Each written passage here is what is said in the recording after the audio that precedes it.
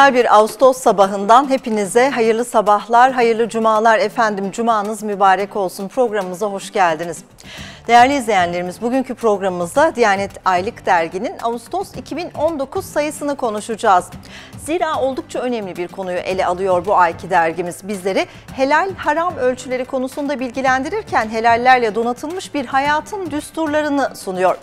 Konuğumuz Diyanet Aylık Dergi editörü Doktor Lamia Levent Abul. Evet değerli izleyenlerimiz merak ettiklerinizi ve sorularınızı Günün Bereketi TV Instagram adresinden bizlere ulaştırabilirsiniz. Günün Bereketi başlıyor.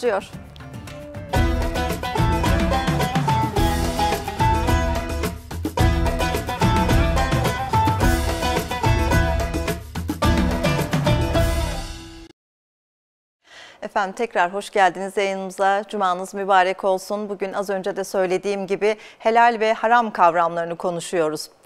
Ee, hoş geldiniz ee, Lamia Hanım. Nasılsınız? Hoş bulduk. Cumanız mübarek olsun. Çok teşekkür ediyorum. Ben de tüm izleyenlerimizin e, mübarek cuma gününü tebrik ediyorum. Hayırlara vesile olmasını diliyorum. İnşallah bu programımızda da e, hepimiz için sazra şifa olacak bir sohbet gerçekleştiririz Amin diye hocam. dua ediyorum. İnşallah, inşallah. Bugün çok güzel bir konuyu konuşacağız gerçekten. Ee, Diyanet Dergisi'nin e, bu ayki başlığı helal hayatlar, helal ve haram kavramlarını konuşacağız. İslam dininin de aslında çok önemli e, verdiği iki e, çizgi. Siz neler söyleyeceksiniz helal ve e, haram kavramları ile ilgili değerli izleyenlerimize bu konuyla ilgili? Aslında Demet Hanım bu helal haram konusu söz konusu olduğunda genelde aslında gıda, gıda konusu Evet. e, insanların aklına geliyor. Yeme içme ile ilgili aslında konular daha çok insanlar hani onunla il- ilgili olduğunu düşünüyorlar. Ama esasında helal ve haram kavramları çok daha geniş bir alanı ifade eden iki kavram. E, neredeyse hayatın bütününü içeren, e, hükümler içeren iki kavram. Evet. E, çünkü e, biz baktığımız zaman gerçekten inançtan ibadete, e, sosyal hayattan aile hayatına, ticaret hayatına, çalışma hayatına, giyimden yeme içmeye kadar aslında hayatın bütününe dair Cenab-ı Hakk'ın koymuş olduğu sınırlar, ölçüler ve ilkeleri kapsıyor. Yani aslında e, tüm hayatı hayatı ve ömrümüzü kapsayan e, kavramlar, kavramlar, aslına evet. bakarsınız. Peki e, biz bu kadar bu kavramların öneminin farkında mıyız sizce? Aslında biraz da bu dergiyi e, gündem konusu yapmamız dergimizde bu konuyu bu. Yani e, çünkü gerçekten artık günümüzde insanlar bazı şeyleri hiç düşünmeden yaşıyorlar. Yani bir takım ölçüler gerçekten bazen silikleşebiliyor, belirsizleşebiliyor. E, dolayısıyla insanların hayatında bazı şeyleri e, dikkat etmeden belki de düşünmeden yaptıkları için bu helal ve haram konusunda biraz duyarsızlığın olduğunu belki de söyleyebiliriz. Tabii ki biz bunlara e, bunlara dikkat edenleri tenzih ediyoruz. Muhakkak ki e, hayatları için bunu temel düstur eden e, izleyenlerimiz vardır, insanlar vardır ama baktığımız zaman aslında toplumda bu konuda bir duyarsızlığın da geliştiğini gördük ve aylık dergimize bu ay biraz da insanların dikkatlerini çekmek, bu kavramların kapsamını, neler ifade ettiğini, Cenab-ı Hakk'ın bu kavramlarla bizlere neyi vaaz ettiğini e, okurlarımızla paylaşmak istedik. Belki de bir farkındalık, bir dikkat oluşturmak istedik ve bu konuyu seçtik. Evet, e, helal hayat konusu. Evet. Gerçekten de e, yavaş yavaş irdeleyeceğiz. E, sizin de gördüğünüz gibi e, sanki e, haramlar baktığımız zaman çok ve kısıtlayıcı gibi geliyor aslında bize ama helallere baktığımız zamansa e, kapsayıcı, daha kapsayıcı olduğunu görüyoruz. Daha Bu geniş. açıdan daha geniş olduğunu görüyoruz. Bu açıdan neler söylemek istersiniz değerli izleyenlerimize? Ee, Şimdi aslında e, şöyle bir kaide var mecellede. E, Eşyada asıl olan ibahadır. Yani mübahlıktır. Yine Peygamber sallallahu aleyhi ve sellem Efendimiz bir hadisi şeriflerinde işte helal Cenab-ı Hakk'ın kitabında e, helal e, kıldığı şeyler e, helaldir. Haram ise Cenab-ı Hakk'ın kitabında haram kıldığı şeyler haramdır. Bir de aslında hakkında hiçbir hüküm olmayan mübah alana ait bir çok geniş bir alan var. Evet. Yani bu da aslında e, nedir? E, insanların hani e, hayatlarını yaşarken insanların önüne çok geniş bir dairenin e, konduğunu görüyoruz. Bir geniş bir helal dairesiyle aslında karşı karşıyalar. E, haramlar ise çok daha az sayıda ve çok sınırlı sayıda. Ve bunlar da elbette ki bunların haram kılınmasında pek çok hikmeti var. Yani muhakkak ki orada insanlar için e, zararlı olan bir şey söz konusu E, ve bunu o yüzden Cenab-ı Hak e, e, haram kılmış. Mesela nedir? Hani üzüm yemek öyle derler e, kitaplarımızda geçer. Nedir? Helaldir. Hı hı. Üzümden yapılan şırayı içmek de helaldir. Ama üzümden yapılan e, şarap haram kılınmıştır. Hı hı. Dolayısıyla aslında hani bu e, helal dairede aslında e, haramın da belki de alternatifi olabilecek çok geniş bir e, helal daire var. Evet. E, ve e, helal daire gerçekten insanların e, keyifle yaşayabilecekleri çok geniş bir alanı insanların önüne e, e, koyuyor. Ve bu anlamda da helal dairesi keyfe kafidir diyoruz. E, harama girmeye hiçbir şekilde lüzum yoktur. Evet. Dolayısıyla bu helal daire içerisinde bizler yaşarken haramlar konusunda da e, dikkat edersek zannedersem rızay bariye e, ulaşabiliriz. Aslında ben bu konuda bir de e, Peygamber sallallahu aleyhi ve sellem Efendimizin çok güzel bir benzetmesi var. Buyurun. Sahabesiyle paylaştığı çok güzel bir e, benzetme bu. E, bu helal haram sınırlarına dair. E, belki de bu daha akılda kalıcı bir şey olur. Sahabesine bir gün şunu anlatıyor Peygamber Efendimiz. Bir yol düşünün önünüzde diyor. Bu dost doğru bir yol diyor. Yolun iki tarafında diyor çok kalın büyük duvarlar var diyor. Hı hı. Ve bu duvarlarda da diyor büyük pencereler var ve aşağı kadar perdelerle örtülü e, kapılar var diyor. Ve bu e, yolun başında bir uyarıcı ey insanlar haydi hepiniz bu birlikte bu yola gelin diye onları bu yola çağırıyor. Evet. Yolun ortasında ise birkaç tane uyarıcı var. Onlar da bu kapıların perdelerini açıp bakmak isteyen veya oraya girmek isteyen insanlar var. Onları uyarıyorlar. Hı hı. Sakın diyorlar o perdeleri açmayın yoksa yoldan ayrılır, ayrılırsınız oraya düşersiniz diye onları uyarıyorlar. İşte insan içindeki nefis. Aslında e, Peygamber maalesef. Efendimiz daha sonra bunun e, şeyini de yapıyor, açıklamasını da yapıyor. Hı hı. Diyor ki aslında o dediğimiz yol dost doğru yol İslam yoludur. Hı hani, hı. Hani e, Kur'an-ı Kerim'de de ifade edilen sıratel mustakimdir. Hı hı. İslam yoludur. E, o yolun iki tarafındaki o kalın ve büyük duvarlar Allah'ın yasaklarıdır, sınırlarıdır. Yani hani diyor ki bu yolun üzerinde kalın, e, bu e, yolun dışında bulunan o sınırların dışarısına çıkmayın diye öyle bir e, benzetmesi var. Peki bu duvarda bulunan e, kapılar ise e, allah Teala'nın yasakladığı şeylerdir. O yolun başındaki uyarıcı allah Teala'nın kitabıdır. Çünkü allah Teala kitapta aslında bu ölçüleri koymuştur. Hı hı. E, helal ve haram ölçülerini Kur'an-ı Kerim'de bize bildirmiştir.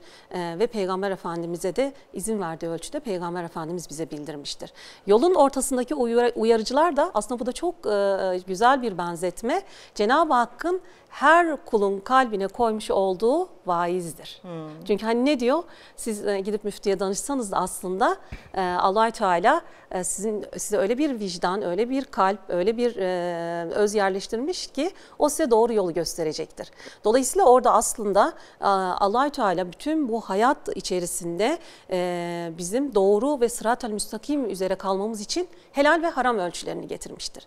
Şimdi Demet Hanım biz bakıyoruz gerçekten hani hep söylüyorum bunu pek çok belki sohbetimizde de yine ifade ettim. Evet.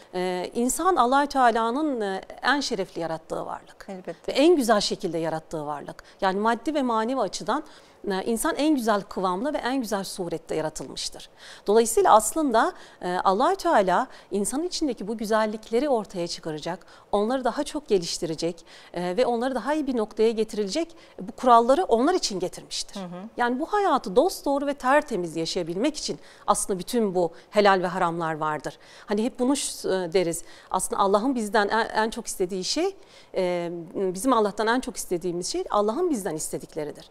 Dolayısıyla bu bu istekler aslında bizim bu dünya hayatını hem düzgün bir şekilde, doğru bir şekilde yaşamak hem de Cenab-ı Hakk'ın rızasına ulaşmak için konulmuş ilkelerdir. Yani bunu unutmamak gerekiyor. Ee, insan eğer o istikamet üzere kalmak istiyorsa, hı hı. E, insan gerçekten bu dünya hayatında e, mutlu olmak istiyorsa, huzurlu olmak istiyorsa aslında bütün bu helal ve haramlar, bütün getirilen bu sınırlar ve ölçüler insanın mutluluğu içindir diyebiliriz. Hem bu dünyada hem de e, ahiret hayatımızda. E, Diyanet Aylık Dergi'nin e, bu ayki yazısında da Diyanet İşleri Başkanımız Profesör Doktor Ali Erbaş da bu şekilde söylemiş. E, iki cihanda da mutlu olabilmek için helal ve haram kavramlarını çok iyi bilmemiz ve takip etmemiz gerektiğini söylüyor. E, helal hayatla ilgili bu yazısında.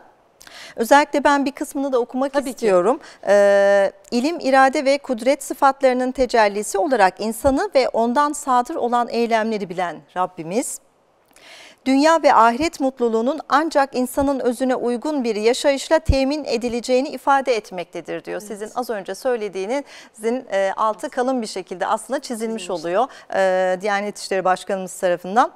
Yine e, yeryüzünde insana ait müspet menfi her türlü davranışın karşılığının verileceği nihai karar merci hiç şüphesiz ahirettir. Evet. Evet, e, siz neler söyleyeceksiniz başka e, Diyanet İşleri Başkanımızın e, bu yazısıyla ilgili neler söylemek istersiniz? Aslında başkanımız çok veciz bir şekilde o yazıda e, ifade etti. Bütün okurlarımıza tavsiye ediyoruz. Bu e, bir yol haritası sunuyor belki de helal hayatı nasıl yaşamamız konusunda. Burada da aslında başkanımızın vurguladığı bir husus da dünya ve ahiret dengesi. Biliyorsunuz ki aslında İslam dini bütün aşırılıklardan uzak orta yolu e, şey yapan, vaaz eden bir dindir. E, Dolayısıyla burada bu orta yolda dünya ve ahiret dengesiyle ancak e, sağlanabilmektedir. Dolayısıyla o dünya ahiret dengesini sağlamanın yolu da e, allah Teala'nın Kur'an ve sünnetle ortaya koyduğu helal ve haram çizgilerine riayet etmekle mümkündür. Ve başkanımız da bu yazısında aslında birkaç hususa dikkat çekiyor. Yani biz bu ölçüleri, Allah'ın koyduğu ölçüleri e, kendi hayatımız için temel düsturlar olarak kabul ettiğimizde bu bizim hayatımıza çok büyük güzellikler olarak yansıyor. İşte bazen sanırım kaçırıyoruz. Ee, özellikle de e, başkanımız bu noktaya da dikkat çekmek Evet. istiyor diye düşünüyorum. Çok önemsemiyor ya da gözden kaçırıyor, tembellik ediyor olabiliriz hayatımızda uygulama noktasında. Aslında verilen bir hayat bize. Evet, başka yani evet başka yok. bir hayat yok Ee, ve bu hayatın aslında e, bizim için en doğru nasıl yaşanacağını da yine bizi yaratan reçete etmiş bize kitap ve sünnetle ve helal haram ölçüleri de aslında e, bunun bu dünyadaki uygulaması. E, Ve biz bunları uyguladığımız zaman başkanımız da ifade ediyor. O zaman istikamet üzere bir hayatı biz yaşamış oluyoruz. Hani biraz önce Peygamber sallallahu aleyhi ve sellem Efendimizin e, tasvirinde belirttiği o sırat-ı müstakim dediğimiz dost doğru yolu biz ancak bu ölçülere riayet edersek e, o yol üzerinde kalabiliriz. Demet Hanım siz de biliyorsunuz artık günümüzde gerçekten haramların, kötülüklerin, günahların yani çok alani bir şekilde Evet. ve çok bir rahat bir şekilde yani çevremizde o kadar çok bunlara şahit oluyoruz ki dolayısıyla aslında çeldiriciler çok insanlar için. İşte Maalesef. bu evet bu çeldiricilere kanmamak için aslında bu şeyler helal haram ölçüleri bizim için temel düsturlar olmalı. Biz bunları te- hayatımızın temel düsturu olarak aldığımız zaman sırat-ı müstakim dediğimiz o dost doğru yol üzerinde de e, kalmış oluyoruz. Ve yine başkanımız e, yazısında şunu söylüyor. Bunu sağladığımız zaman e, taklidi imandan tahkiki imana geçmiş oluyoruz. Yani orada imanın o lezzetini, imanın o güzelliğini, o huzuru biz kalplerimizi bizatihi yaşamış oluyoruz. Yine bu e, helal haram çizgileri aslında bize kulluk sorumluluğumuzun e, bilincini aşılıyor. Çünkü biz biliyoruz ki esasında allah Teala'nın bizi bu dünyaya gönderiş gayesi, bizi yaratılış gayesi e, Rabbimizi bilmek, tanımak ve ona ibadet etmektir. Elbette. Ve bu tayyibat dediğimiz hani helal dediğimiz şeyler Kur'an-ı Kerim'de tayyibat kelimesiyle de ifade ediliyor. Eğer biz hayatımızda tayyibatı merkeze aldığımız zaman, e, habais dediğimiz o kötülükleri konusunda da dikkatli olduğumuz zaman e, işte o dünya ve ahiret dengesinde Her sağlamış iki cihanda da hem huzurlu, sağlamış hem oluyoruz. Tabii ki ailemizle birlikte e, Evet. bir ömür sürebil, e, sürebiliriz biliriz. diye düşünüyorum. Aslında bir de orada başkanımızın dikkat çektiği bir tehlike de var. İsterseniz o konuda da belki Buyurun. bir, e, birkaç söz söylemek isterim ben. Hmm, Aslında bu e, dengeyi dediğimiz gibi helal haram ölçüleri dünya ve ahiret dengesini sağlıyor. Ama modern hayat maalesef bu dengelerimizi alt üst etti. Evet. Neden? Çünkü e, modern hayat e, inanç ve değerleri hayatın dışına attı. Gündelik Ve yaşamın evet, dışında dışına aslında. atmaya çalışıyor. Sürekli onları öteleyip onun yerine dünyevileşmeyi ve maddeyi merkeze aldı. Dolayısıyla aslında insanlar hani bu dünyevileşmenin anaforuna, girdabına kapıldıkları zaman madden ve manen ne yapmaktadırlar? Ee, Bir e, çöküşe doğru gitmektedirler. Ee, Ve bu da insan için gerçekten o hem dünyanın e, kaybı anlamına geliyor hem de ahiretin kaybı anlamına geliyor. Çünkü sürekli bir e, çıkar şeyi var savaşı var. Sürekli bir e, tüketim iştahı var. Sürekli Maalesef. daha çok kazanma hırsı var. Yani bütün bunlar aslında insanı e, hem maddi hem manevi olarak bitiren e, durumlardır. Bu da işte helal noktasından çıkıp, sapıp e, haram noktasına bite- bizi iten İter. bir güç var. Evet. Ee, Çünkü modern hayat modern her hayat, yerden bu- evet. bunu bize e, empoze etmeye çalışıyor. Hatta kimi zaman haramı karşı- helal gibi Tabii. e, gösteren yanıltıcı e, şeylerle de bilgilerle de karşılaşabiliyoruz. Özellikle özellikle de çocuklarımız ve gençlerimiz e, bu tür şeylere daha çok maruz kalıyorlar. Az sonra onları Evet e, biraz daha, sosyal medya evet, üzerinden de konulara da daha çok Onunla e, ilgili de güzel ayrıntılar- yazılarımız var. Evet onlar e, hem e, Diyanet Dergi'de hem de Aylık Dergi'de yer vermişsiniz. Gerçekten çok isabetli bir karar olmuş. E, hocam ikinci sayfada e, hemen helal hayat hassasiyeti var. E, yine Kayseri İl Müftüsü Profesör Doktor Şahin e, Güven'in helal hayat hassasiyeti başlıklı bu yazısında e, haram sınırlarının bir imtihan vesilesi olduğunu söylemiş. Bu konuyla ilgili neler söyleyeceksiniz? Bunu nasıl açıklarsınız peki? Evet aslında bu yazıda e, biz şunu görüyoruz. Aslında bütün hayat insan için bir imtihan sahnesidir. Yani Kur'an-ı Kerim'deki ifadesiyle allah Teala ölümü ve hayatı e, hangimizin daha güzel işler, daha güzel ameller e, yapacağımızı denemek için, sınamak için, imtihan etmek için yarattığını bizlere bildiriyor.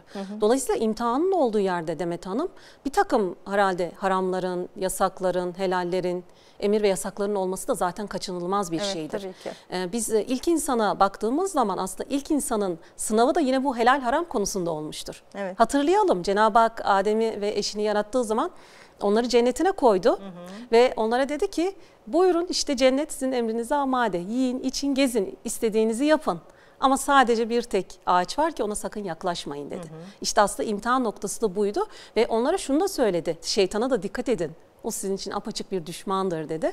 Ee, onlar tabii ki e, o cennette güzel günler geçirdiler ama sonra şeytanın ivasına kapılarak o yasak meyveden yiyerek Allah'ın koyduğu o sınırı çiğnediler. O haramı işleyerek aslında e, o e, hududullah dediğimiz Allah'ın sınırını çiğnemiş oldular ve tabii ki m, bu yapmış oldukları hatadan dolayı da Cenab-ı Hak onları cennetten yeryüzüne indirdi E, ve e, Demet Hanım e, bu sınav Adem'le sınırlı değil. Daha sonra Adem Hazreti Adem'den sonra gelen bütün insanlar aslında helal ve haramlarla sınanmaya devam ediyor. Yine ayet-i kerimede Allah Teala şöyle diyor. Diyor ki: "Ey insanlar, size vermiş olduğum nimetlerin helal ve temiz olanlarından faydalanın. Ama sakın ola ki harama bulaşmayın ve şeytanın da izinden gitmeyin. Gitmeyin. Yani orada yine Hazreti Adem'e yaptığı uyarının aynısını aslında bütün insanlara ve bizlere de yapıyor Cenab-ı Hak. Yani yine sizler helal ve haramlarla sınanacaksınız ve bu konuda da e, sizi e, yoldan çıkarmaya çalışacak olan bir şeytan var. Aman ha ona da dikkat edin diyor. Dolayısıyla aslında e, bizim sınavımızda helal haramla olan e, sınavımızda bir anlamda Cenab-ı Hakk'a olan imanımızın ve teslimiyetimizin de sınanmasıdır. Diğer taraftan Allahü Teala'nın koymuş olduğu hükümlere bağlılığımızın sınanmasıdır. Ee, bu konuda e, bizim kitaplarımıza geçen çok güzel bir hikaye var aslında onu da biraz paylaşmak istiyorum. Buyurun hocam. Yani o sınanma her an oluyor aslında.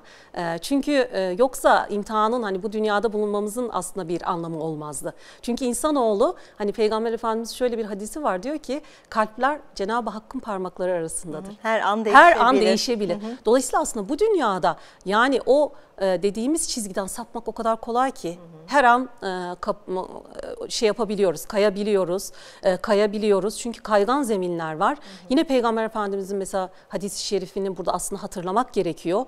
Çünkü bazen hani haram belli, helal belli diyor Peygamber Efendimiz buyuruyor. Ama bu ikisi arasında şüpheli şeyler var kaygan olan zeminler var. İnsanlar aslında burada da ayakları kayıyor. Hani bir şey olmaz diyorlar. Ee, hani e, onu Özgüven belki de aslında Evet. yani e, kendi dinine imanına çok fazla güvenmek de e, kimi zaman tehlikeli olabiliyor. O sizin söylediğiniz çok ince bir çizgi var Çok dediniz ince bir ya. çizgi, evet. Oradan her an sapabilirler. Sapabiliyor. Çok fazla güvenmek Evet. de e, sanırım bu noktada Tabii orada da zaten- güvenmek iyi değil. uyarıyor peygamberimiz dikkat edin diyor. Çünkü o şüpheli şeye diyor gitmeyen yani hani kesin olan şeyleri yapalım. Evet. Şüpheli olan şeylere e, gittiğiniz Yaklaşmamak zaman diyor, gerekiyor. Hı hı. işlediğiniz zaman işlemediğiniz zaman diyor dininizi ve haysiyet ve namusunuzu korursunuz. Ama eğer işlerseniz o zaman harama düşersiniz buyuruyor. Dolayısıyla bir şey olmaz hani e, çok emin değilsek Ya da bir kereden bir, Bir şey olmaz. Onlar da değil mi? Hep kullanılan. kullanılan bir Aha. sözdür aslında ama e, bir kere e, düştüğümüz zaman harama maalesef arkası gelebiliyor. Evet. Bir kere daha bir kere daha nefis ve şeytan arasında sıkışıp kalan kalplerin içinde, vicdanın içinde yaşamak zorunda kalıyoruz kimi zaman. Öyle diye düşünüyorum. Aslında evet dediğiniz gibi yani orada e, bunun herhalde buradan kurtulmanın en kolay yolu e, şüpheli olan şeylerden uzak Hiç durmak, yaklaşmamak. hiç yaklaşmamaktır. Hatta peygamberimizin çok güzel bir hadisi var. Şöyle gene o çok güzel benzetmeler yapıyor Efendimiz aslında. Hani bunlar belki de konuyu daha iyi açıklamak anlamında zikretmemiz gerekiyor diye düşünüyorum Demet Hanım. Şöyle diyor diyor ki bir padişahın koruluğu var diyor. Bir çoban diyor sürüsünü o koruluğun etrafında diyor eğer otlatırsa o koyunların o koruluğa gitme e, ihtimali çok yüksektir. O koruluk da diyor allah Teala'nın diyor sınırlarıdır. Dolayısıyla biz sınırlarda dolaşmayalım. Yani o kadar geniş bir cadde var ki o sırat-ı müstakim dediğimiz cadde aslında çok geniş bir cadde. Ee, o e, kenarlardaki sınırlara yaklaştığımız zaman onlar şüpheli olan alanlar. Evet. Ee, bu konuda da e, Peygamber sallallahu aleyhi ve sellem Efendimiz aslında şunu söylüyor bu hadisin devamında. Kalplerinize diyor dikkat edin. Eğer vücutta bir bu aynen bu korulukla ilgili hadisin devamında şunu söylüyor Peygamber sallallahu aleyhi ve sellem Efendimiz. Kalbinize dikkat edin. Kalpte bir et parçası vardır. Evet. O iyi olursa bütün vücut iyi olur. O kötü olursa bütün e, Vücut bozulur. bozulur diyor.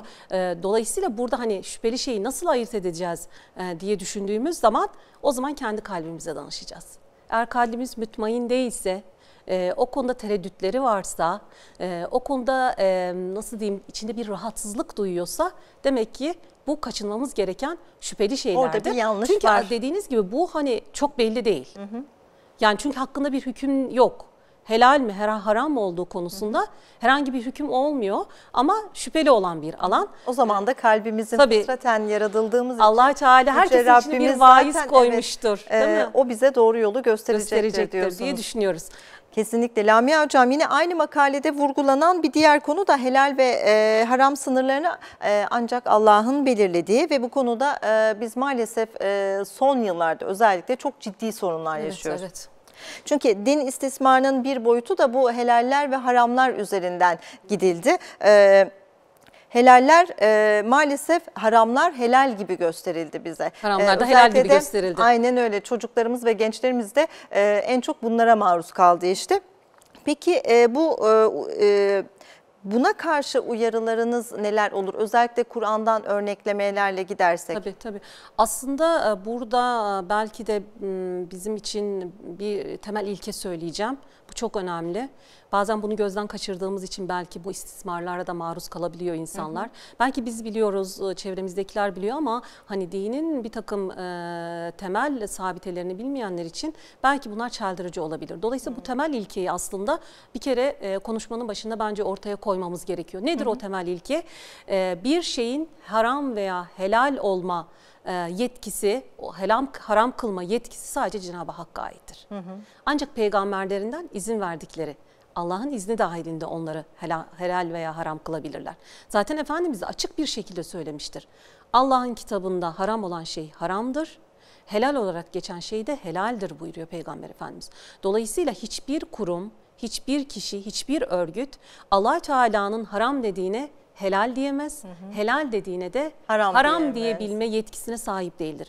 Bu yetki Allah'ta olduğu için eğer bir insan haşa hani bunu e, helali haram haramı da he- helal kıldığı zaman Allah Teala'nın alanına müdahale etmiş oluyor. Dolayısıyla bu Elbette. Allah'a ortak koşmak, Allah'a şirk koşmak, koşmak. manasına geliyor ki Kur'an-ı Kerim'de bu konuda çok şiddetli uyarılar var. Şimdi geçmiş kavimlerden özellikle örnekler var. Mesela e, müşrikler konusunda örnek veriyor. Onlar mesela bazı hayvanları helal olduğu halde kendilerine hela- haram kılıyor. Haram kılmışlar. Bunların çok ayrıntıları tefsirlerimizde anlatılıyor. Oradan okuyabilirler e, izleyicilerimiz. E, ve bu, bunlara çok şiddetli uyarıları var. Yine Yahudiler içerisinde mesela e, onlar mesela cumartesi günü onlarda avlanma yasağı var. Ama Yahudiler bu yasağı nasıl deliyorlar? İşte cumartesi günü e, ağa atıyorlar. Pazar günü topluyorlar. Dolayısıyla cumartesi günü aslında hani avlanmamış gibi oluyor ama aslında orada e, o av cuma cumartesi günü yapılmış, Yapılmış oluyor. Evet. Dolayısıyla hani bunlar e, bir şekilde Allah'ın haram kıldığını e, kendi hani yaşamlarına uymadığı için değiştirme yoluna gidebiliyorlar. Helale hani günümüzde de bazı insanlar bunu ama. bazen şey konusu e, hatta tartışma konusu olmayacak şeylerdir bunlar. Hani neden haram kılındı, helal neden haram e, helal kılındı Böyle gereksiz, konusunda dipsiz tabii, tartışmalar da tartışmalar tabii yapılabiliyor ki maalesef. Yapılabiliyor. Hı hı. Ee, yine mesela Hristiyan, yine Yahudilerle ilgili Kur'an-ı Kerim'de geçen uyarılar var. Mesela onlar iç yağ onlar için mesela haram kılınmış ama onlar bunu yemedikleri halde ne yapıyorlar? Götürüp bunu satıp ticaretini de yapabiliyorlar. Aslında haram olan bir şeyin ticaretinin yapılması da haramdır.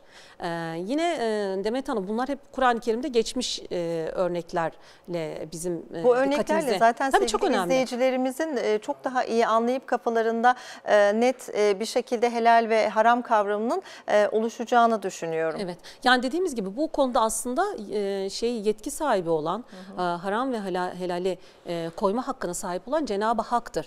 Ama biz FETÖ olayında da gördük ki aslında hani bu gerçekten belki de e, 100 yılın veya 1000 yılın istismar hareketi olarak belki adlandırabiliriz Evet, FETÖ'nün din yaptığı bu din istismarı. istismarını. Orada da onlar aslında çok açık bir şekilde haram olan bir takım uygulamaları işte e, maslahat adı altında, takiye adı altında, her ne adı altında olursa olsun asla kabul edilemez bunlar zaten.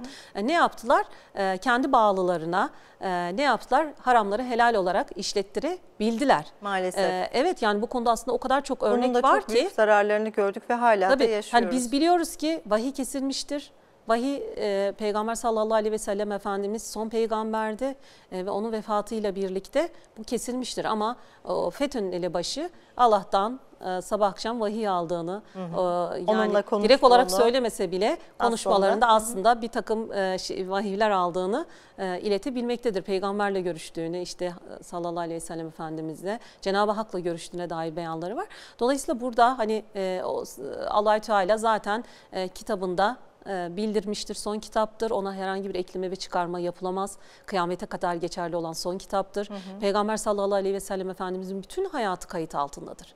Bütün sünneti ve hadisleri e, bizim elimizin altındadır. Onlara herkes ulaşabilir. Dolayısıyla bunların dışında insanların din konusunda kendilerine bir yetki görerek ona bir takım ek- eklemeler, çıkarmalar yapmaları, helal ve haram ölçüleri koymaları hiçbir şekilde e, itibar etmemeleri ve e, bu tür yapılardan uzak durmaları e, gerektiği gerekiyor. konusunda Özellikle e, uyarıyoruz. Türkiye'deki vatandaşlarımız da e, bu konuda aslına bakarsanız çok şanslı. Çünkü Türkiye Diyanet İşleri Başkanlığı gibi bir kurum var. E, en güvenilir ve yetkin kurum. E, kafaları karıştığı zaman e, çok güzel fetva alabilecekleri, sorularını Tabii, tabii. yanıtlayabilecekleri bir kurum var. Hem telefonla hem sosyal medyadan e, gerek e, Maille. camilere, maille ya da camilere gittikleri zaman işte aile büroları var her yerde. Hocalarımızla, müftülüklerle çok rahat bir şekilde sorularını e, onlara sorup kafalarındaki şüpheleri e, giderebilirler. E, bu da çok önemli bir şey ama e, ne yazık ki işte bazı boşluklar olduğu zaman e, o boşlukları doldurmak için fırsatçılar e, sürekli e, zaman kolluyor diye düşünüyorum. Fırsat kolluyor diye düşünüyorum. Ya da şu da var, o da var. Bir de e, dini e, kendi tekellerine alanlar var. Hani en iyi biz biliriz. Doğru yolda olan biziz. Yani öyle bir şey yok. Kim Allahü Teala'nın koyduğu e, ölçülere uygun bir hayat yaşarsa doğru yolda olan odur. Bizim için tek ölçü Kur'an ve sünnettir. E, bunun dışında herhangi bir cemaat, herhangi bir örgüt, herhangi bir kurum, herhangi bir kişi e, dinde otorite olamaz. Kesinlikle. Ve biz hani dinin tek temsilcisi biziz. Onu kendi tek eline alamaz. Dini en iyi biz biliriz ve fırkayı naciye biziz diyen e, gruplar var. Hani kurtuluşa eren yegane fırka biziz diyerek e, insanları e, e, kandıran, aldatan, dinle aldatan insanlar var. Ama biz biliyoruz ki hani bizim ölçülerimiz çok kesin, net, bellidir, ortadadır. Dediğiniz gibi bunu belki de en güzel şekilde e, insanlara anlatan, o sahih bilgiyi, Kur'an ve sünnetin sahih bilgisini insanlara ulaştıran Diyanet İşleri Başkanlığı'dır. Her vesileyle bunu söylüyoruz. E, Diyanet İşleri Başkanlığımız bütün kurumlarıyla e, halkımıza, e, insanlarımıza e, dini anlatmakla görevlidir ve e, dediğiniz gibi e, müftülüklerimize işte hem telefonla bizzat giderek veya mail yoluyla her türlü sorunlarını bizimle paylaşabilirler. Güvenle de cevaplarını alabilirler diyoruz. Evet hem dergilerimizi takip edebilirler. ki yayınlarımızı, e, yayınlarımız, radyo, kitaplarımız. televizyon yayınlarını, kitaplarını, Tabii. dini yayınlarımız da bu konuyla ilgili çok güzel yayınları var. E, oradan takip edebilir e, ve doğru ve sahih bilgiye çok kolay bir şekilde de aslında ulaşabilirler. Evet. Evet. E, Yeter ki akıllarını kiraya vermesinler. evet o çok Baş, önemli herhangi sanırım. bir insanı sadece bir insanı hakikatin ölçüsü olarak e, görmemeleri gerekiyor. İşte soru işareti oluştuğu zaman kafalarında e, bence o bulundukları e, o cemaat veya herhangi bir kurum neredeyse oradan çıkıp bir sorgulamaları gerektiğini düşünüyorum. Evet, Çünkü hem evet. kendi iyilikleri ve hayatları için hem de çocuklarının yani Tabii gelecek bu nesiller gelecek için, nesiller tabii. için de çok önemli. Tabii. Bir birey gerçekten birçok kişinin hayatına, kendi ailesinin hayatının mahvolmasına hem bu dünyada hem de ahirette Veya mahvolmasına da sebep- vesile olabilir dediğiniz gibi kurtulaşına da da, sebep olabilir. olabilir. Evet. Ee, yine hocam isterseniz dergiye dönelim. Ee, dergide haramdan helale hicret etmek. Mustafa Soykök'ün bir yazısı Evet. var. Ee, Diyanet İşleri uzmanımız. Ee, o da burada e, güzel bir müjdeleyen bir yazısıyla dergimizde yer almış. Bu ay haramdan helale hicret, Hicret etmenin e, yollarını anlatmış. Bu konuda e, kimi zaman e, ümitsizliğe kapılıyor gibiyiz. Siz ne dersiniz? Aslında çok ümit verici bir e, yazı yazdı Mustafa hocamız. Ben teşekkür ediyorum kendisine. Burada aslında e, manevi bir hicretten bahsediyor e, Mustafa hocamız. Yani e, kişinin işte haramlardan, günahlardan, kötülükleri e, terk edip e, helallere e, sarılması bir nevi manevi bir hicrettir. E, Ve bunu da Peygamber sallallahu aleyhi ve sellem Efendimizin bir hadisi şerifine dayandırıyor. Nedir o hadisi şerif? Efendimiz şöyle buyuruyorlar. E, işte e, Müslüman diğer Müslümanların elinden ve dilinden e, zarar görmedikleri emin oldukları kimsedir Evet. buyuruyor Efendimiz. Muhacir ise Allah'ın yasaklarını terk eden e, ve onları bırakan kimsedir buyuruyor Peygamber Efendimiz. Dolayısıyla bu hadiste esasında muhacir kimdir? Allah'ın haram kıldıklarını, yasak kıldıklarını e, terk eden kimse muhacir oluyor. Demet Hanım hatırlayalım. Peygamber Efendimizin hicretini aslında bir, bu hem maddi anlamda hem manevi anlamda hicret olabilir. Çünkü biz biliyoruz ki Peygamber sallallahu aleyhi ve sellem Efendimiz Mekke'de İslam dini yaşama olanağı bulamadığı zaman sahabeleriyle birlikte dinlerini daha güzel, daha özgürce, daha rahat bir şekilde yaşayabilmek için ne Hicret yaptılar? etmiştir. Hicret ettiler. E şimdi günümüzde de bazı insanlar gerçekten e, içinde bulundukları muhit dolayısıyla, arkadaş çevresi dolayısıyla, içinde bulundukları bir takım ortamlar dolayısıyla e, haramlara e, dalabiliyorlar. Dolayısıyla e, bir anlamda aslında o içinde bulundukları ortamdan e, kopmaları, orayı terk etmeleri e, bir anlamda hicret sayılıyor. Oradan e, daha iyi olan, kendilerini daha iyi yerlere taşıyacak, e, helal olan bir hayatı yaşayacak ortamlara gitmeleri bir anlamda aslında bu da bir hicrettir. Hicret bitmemiştir. E, manevi anlamda da tabii ki devam etmektedir. devam Yine eder. aslında burada hem maddi ve manevi hicretin aslında e, hala devam ettiğine dair de e, Peygamber Efendimizin anlattığı çok güzel bir hikayeyi e, yazısına almış Mustafa hocamız. Ben bunu da ifade etmek istiyorum Buyurun aslında. hocam. Buhari'de geçer bu hadis. E, Efendimiz sahabelerine bir gün geçmiş ümmetlerden bir adamı anlatır. Bu adam çok e, bütün kötülükleri işlemiş, e, cani bir katildir. Yani e, hayatı aslında hep kötülük üzerine, hep günah üzerine, her- hep haram üzerine bir hayat süren biridir. E, ve göz kırpmadan 99 tane insanı öldürmüştür. Ama her ne kadar bu kadar kötü bir insan olsa da biz şunu söylüyoruz aslında iyilik ve kötülük insan içerisinde bir savaş halinde. İnsan hiçbir zaman için pür kötü değildir e, ya da saf iyi değildir. Dolayısıyla o e, belki de daha e, bozulmamış olan fıtratının o iyi parçası bunu bir sorgulamaya iter. Der ki ya ben artık bu hayatı bırakayım. Gerçekten çok kötülükler işledim, çok günahlar işledim. Ama acaba bu e, günahlarımdan kurtulma, e, bunlardan acaba bu hayattan beni çekip çıkarabilecek bir yol var mıdır diye bir arayış içerisine girer. Ve bunun neticesinde bir e, rahibe rast gelir. Kendisine der ki ben 99 tane kişiyi öldürdüm. Acaba benim kurtuluşum mümkün müdür? Ee, tabii o a, kişi de bunu yapmış olduğu kötülükleri duyunca hani senin kötü şeyin e, biraz gönlü de dar, Allah'ın rahmetini daraltan belki de bir anlayışa sahipti. E, ne yaptı bu adama? Dedi ki yok seninki kurtuluşun mümkün değil. Tabii bu umutsuz cevabı duyan bu cani katil e, o rahibi orada öldürdü ve 100 kişinin katili oldu. Oldu. Nasıl olsa 99'da bir, yüzde bir Bir tane diyerek fazla olmuş. Evet, ne fark, fark eder? eder diyerek onu da öldürdü. Bir zaman sonra tekrar e, bu arayışları devam ederken insanlar ona dediler ki bir yerde bir alim var falanca yerde. Sen gidersen belki senin derdine çare olur, belki seni bu kötülüklerden kurtarabilir diye onu tavsiye ettiler. O da yola revan oldu, gitti o alimi buldu, buldu. Ve alim aslında ona çok Allah'ın rahmetinin çok geniş olduğunu, can boğaza gelmeden yapılacak olan tövbenin e, kabul olacağını söyledi. Ama e, öncelikle kendi içinde bulunduğu o muhiti değiştirmesi gerektiğini söyledi. Çünkü Yalnız orada insanlar çevrede. herkes onu kötü Evet. olarak biliyor. E, içinde bulunduğu çevrede belki de e, arkadaşları çevresi de hep kötü insanlardan e, oluşuyor. Eğer sen hani iyi biri olmak istiyorsan bir kere burayı önce terk et dedi. O da e, o kadar halis bir niyette yola koyuldu. İyi insanların olduğu başka bir diyara hicret etmeye karar verdi, göç etmeye karar verdi. Ama yolun yarısına geldiği zaman ömrü vefa etmedi, öldü. Bunun üzerine rahmet ve azap melekleri adamın başında toplandılar. Hı hı. Rahmet melekleri, e, azap melekleri işte bu e, işte canidir, katildir, şöyle kötü bir insandır, şöyle günahkar bir insandır. Bunu biz götüreceğiz diye e, direttiler. Ama e, şey e, rahmet melekleri rahmet dedi melek. ki hayır bu tövbe etti. E, ölmeden önce tövbesini yaptı. E, bu yola daha sonra çıktı. iyi bir evet Hı-hı. yola çıktı. Daha iyi bir insan, insan olmak olabilmek için, için. evet yola çıktı. E, dolayısıyla bu Allah'ın rahmetini hak etmiştir. Biz götüreceğiz dedi. E, tabii onlar aralarında böyle bir anlaşmazlık olunca Cenab-ı Hak hakim olarak bir melek gönderiyor. Hı hı. O melek diyor ki durun diyor tartışmayalım diyor. Ölçelim. E, geldiği yer, yerle gideceği yer arasındaki mesafeyi ölçelim. Hangi tarafa daha yakınsa e, o götürecek diyorlar. Ve ölçüyorlar e, iyi insanların tarafına doğru olan yolun daha kısa olduğunu görüyorlar. Oraya daha yakın olduğunu görüyorlar. Ve bunun üzerine rahmet melekleri o adamı götürüyor. İşte burada da görüyoruz ki Aslında verdiğiniz Hanım, örnek o kadar güzel ki e, gerçekten etkilenmemek mümkün değil ve burada çok önemli bir şey de söylediniz işte umutsuzluğa kapılmama.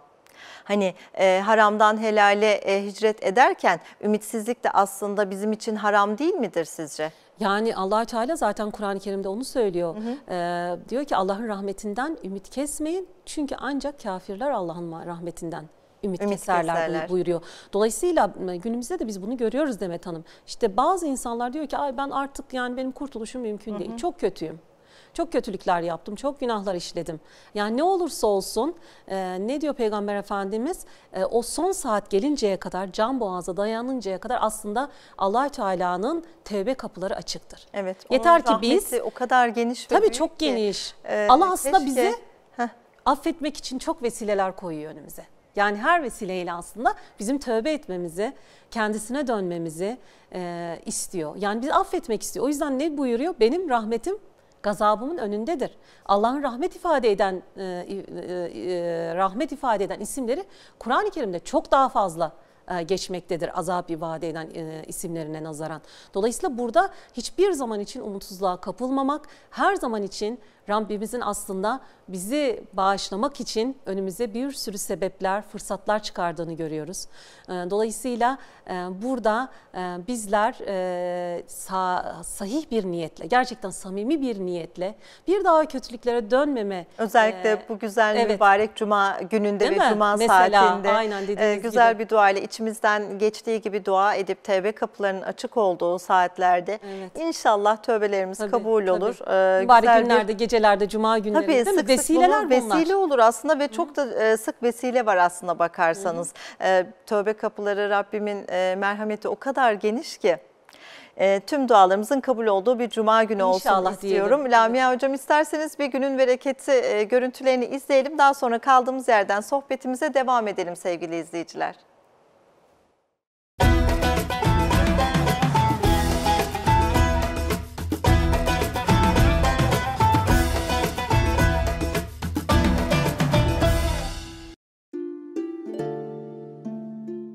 Bereket kavramı üzerine düşündünüz mü hiç? Nedir bereket? Elle tutulur mu? Sayılır mı? Görülür mü? Yoksa manevi bir ihsan, ilahi bir ikram mıdır? Bereket, maddi ve sayısal bir karşılığı olamayacak kadar geniş bir hazinedir. Bereket, bolluk demektir. Öyle bir bolluk ki, taşan, eksilmeyen. Bereket, saadet demektir. Öyle bir saadet ki, hiç gitmemecesine yerleşip kalan ve bereket, ilahi lütfun apaçık tecellilerinden biridir. Bereket hazinelerinin ilk anahtarı, Rabbini tanımaktır. Ezel ve ebedin sahibi olan Rab, bitmez tükenmez bir bereket menbaıdır. O verir, verdiğini arttırır, saadete kapı açar ve hayrı kesintisiz sürer gider kara toprağın derinliklerine sakladığı bereketi, gökten indirdiği bereketli bir suyla coşturan da, doğusundan batısına yeryüzünü bereketle donatan da yine o değil midir? Bereket Allah'tandır. Ve bu ilahi bereketin en kutlu neticesi şüphesiz Hazreti Muhammed sallallahu aleyhi ve sellem'dir. Mübarek peygamberin her anı berekettir. Sohbeti bereket, duası bereket, yürüyüşü bereket, seferi bereket. Elhasıl Onun varlığı berekettir. İşte bir bereket anahtarı daha bizler için. Ve Kur'an-ı Kerim ne bitmez bir bereket kaynağı. İlahi rızanın rehberi, dünya ve ahiret saadetinin tarifi, insanoğlunun gönlü Kur'an'la berekete ermeli. Yeter ki insan Rabbini, peygamberini ve kitabını unutmasın.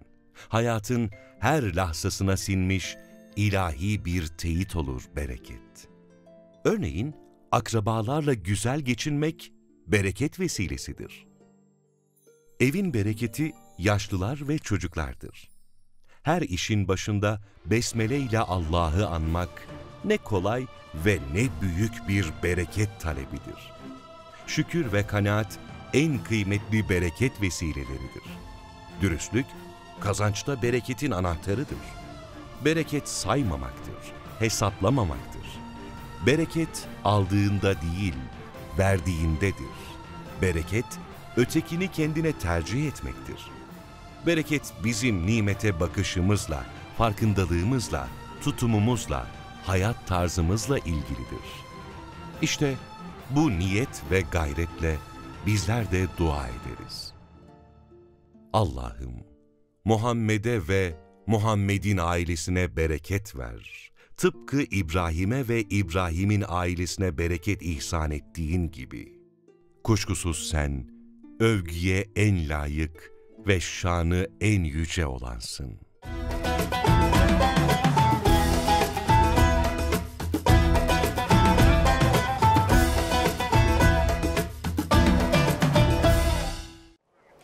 Evet günün bereketi devam ediyor değerli izleyicilerimiz. Diyanet Aylık Editörü Doktor Lamia Levent Abul hanımefendi ile sohbetimize kaldığımız yerden devam ediyoruz. Az önce siz de izlediniz hocam e, günün bereketindeki görüntüleri. Hem helal hem haram kavramları konuşuyoruz ya.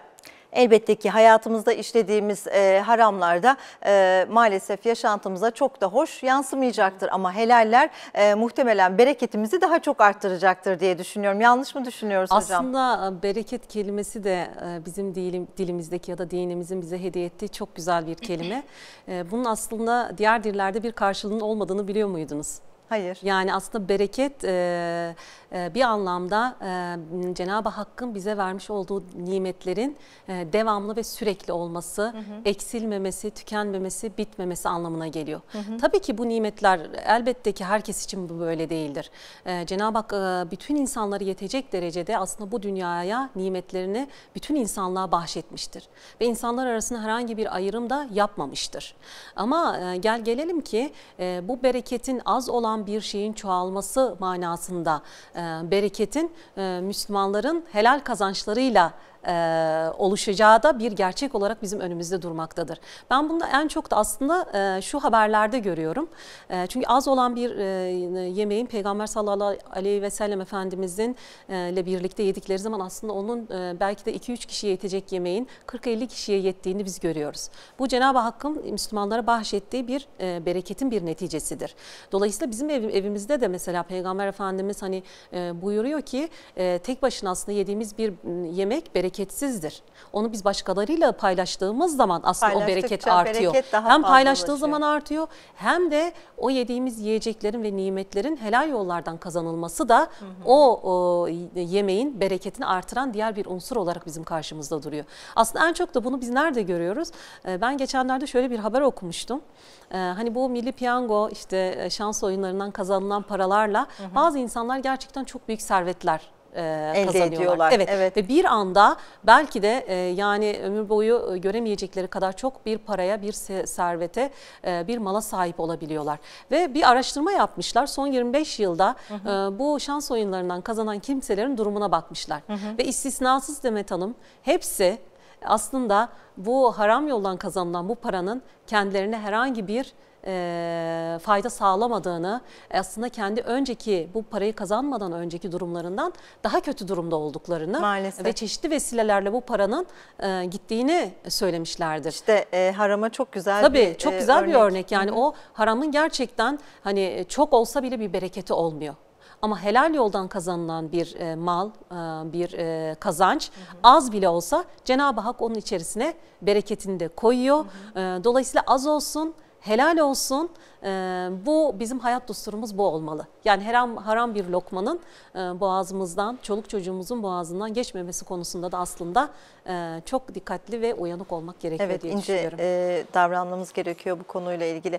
Evet çocuklarımız söz konusu olduğumuz zaman olduğu zaman dediğiniz gibi daha dikkatli davranmamız gerekiyor. Hocam e, sanal dünyada o yüzden de helal ve haram sınırları çizmiş Profesör Doktor Abdullah Kahraman bu konuyla ilgili de. Günümüzün de en sık e, karşılaştığımız sorunlarından bir tanesi e, maalesef. Çünkü sanal dünyada haram ve helal sınırlarını anlatıyor hocamız ama sanal ortam olduğu için sanki orada işlenen haramlar gevşiyor, değil mi? evet gevşiyor e, ve orada sanki gevşiyor, haram ölçüler gevşiyor. işlenmiyormuş gibi gösteriliyor bize. Gösteriliyor, Bu evet. konuyla ilgili neler söyleyeceksiniz? Yani aslında hani e, e, iletişim gerçekten çağımızı iletişim çağı olarak e, ifade ediyorlar. Gerçekten hayatımızı çok kolaylaştırdı. Şimdi biz dünyanın bir ötesinde tarafında olan bir akrabamızla, bir arkadaşımızla çok kolay bir şekilde, çok az bir maliyetle görüşebiliyoruz. Veya kendi düşüncelerimizi, duygularımızı, fikirlerimizi aslında herkesin bir medyası var artık. Evet. O medyalar aracılığıyla, sosyal ağlar aracılığıyla diğer insanlarla paylaşabiliyoruz. Aslında bu çok güzel bir e, imkan insanlık için düşündüğümüz zaman. Ama maalesef e, bu güzelliklerin yanında aslında e, bu iletişim çağı özellikle de sosyal medya bir takım problemleri de aslında bizim hayatımıza taşıdı. Şimdi nedir bu problemler? E, biliyoruz ki İslam dini hayatın her alanı ile ilgili bir takım kurallar, ilkeler, ölçüler getirmiştir. Söz konusu sosyal medya olduğunda da aslında bu ilkeler geçerlidir. Muhafaza etmemiz gereken sınırlar vardır, uymamız gereken ölçüler vardır. Ama ben şunu görüyorum, e, biliyorsunuz Türkiye e, bu sosyal ağları e, kullanan ülkeler arasında galiba ilk sıralarda. Evet, Öyle biliyorum. maalesef. Hı hı. E, ama çok çabuk adapte olduk toplum olarak. Evet, yani evet, sosyal adapte Hatta şimdi şunu duyuyorum ben sadece gençler değil, 40 yaş üstü e, kişiler daha çok kullanıyorlarmış yani onlar daha çok onlar da kullanıyorlarmış. Hani gençler daha çok videolar işte daha başka mecralarda takılırken işte bu e, şeylere diğer e, sosyal medya platformlarına e, 7'den orta yaş üstü 77'ye hocam Evet, e, evet. sizin de söylediğiniz gibi çok çok çok çabuk adapte e, olduk. evet herkes çok güzel çok rahat kabullendik. adapte oldu. Ama maalesef e, buradaki e, helal haram çizgilerine, sınırlarına riayet etme konusunda o kadar başarılı değiliz. Maalesef böyle bir tezat da var bizim hayatımızda. E, yani şunu gözden kaçırıyoruz. E, eğer bu yaşadığımız e, bu gündelik hayatta e, bizim için e, geçerli olan kurallar aslında sosyal medyada da aynı şekilde geçerli. İnsanlar sanal bir e, ortam olduğu için orada kendilerini daha rahat, daha free e, hissedebiliyorlar. Ve hatta bazıları bir takım sahte hesaplarla, sahte isimlerle e, belki de burayı daha e, kolay bir şekilde istismar edebiliyor. Evet. Dolayısıyla aslında burada bir sosyal e, medya ahlakının da aslında olması elzem. Bu konuda tabii ki hocalarımız da bir takım e, hani çalışmalar yapıyorlar. Bizler de e, Diyanet olarak hem kendi dergimizde hem de kitaplar konusunda e, bu konuyla ilgili yayınlanacak kitaplar konusunda bir takım çalışmalar yapılıyor ve insanların dikkatleri aslında buna çekiliyor. Çünkü Cenab-ı Hak aslında her an bizimle birlikte. Yaptığımız, konuştuğumuz, paylaştığımız her şey aslında kayda geçiyor. Öyle ki Demet Hanım Bazen unutuyoruz galiba. Evet unutuyoruz işte. ama hatırlamalıyız. Kur'an-ı Kerim'de bakın şöyle bir ayet var. Diyor ki o gün hani kıyamet günü herkese diyor defterleri, kitapları verilecek. Evet. Onlar diyor kendilerinin kitaplarına baktıkları zaman hani kaydedildi. Bizim burada dünyada yaptığımız şeyler kaydediliyor ya. Evet. Onları diyor ellerine alıp okudukları zaman diyor çok büyük bir şaşkınlık yaşayacaklar. Diyecekler ki nasıl olur bu böyle bir şey? Küçük büyük demeden Allah her şeyi buraya yazmış diyecekler. Yani aslında e, burada geçerli olan kurallar e, sanal dünyada da sosyal medyada da geçerlidir. Dolayısıyla bu şuur içerisinde belki e, sosyal medyaya e, yaklaşmak lazım. Peki sosyal medyada biz nelere dikkat etmeliyiz? Nasıl kullanmalıyız? Kullanacağız elbette ki bu bir imkan.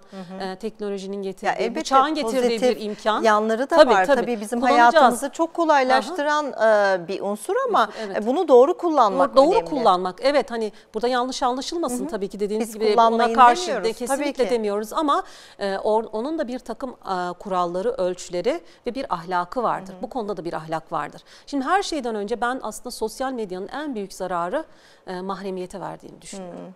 E, Aile mahremiyeti Aile mahremiyeti, de. kişisel mahremiyet, başka insanların mahremiyeti hep bu üç alanda da maalesef iyi bir sınav vermiyoruz. Çünkü sosyal medya olduğu için insanlar ne yapıyorlar? Çok rahat bir şekilde e, ne yapabiliyor? Kendi ailelerine, eşleriyle aralarındaki mahrem ilişkilerine, Evet. e, Neredeyiz, nasıl yaşıyoruz, Tabii, nasıl tabii. yemek yiyoruz, Yediklerinden, şu restorandayız, aldıkları buradayız. evet hediyelere kadar e, belki de eşler Her şey göz arasında önünde. mahrem olan bir takım ilişkileri herkesin gözünün önünde yaşayabiliyorlar. Halbuki İslam'a göre mahrem olan özel olandır.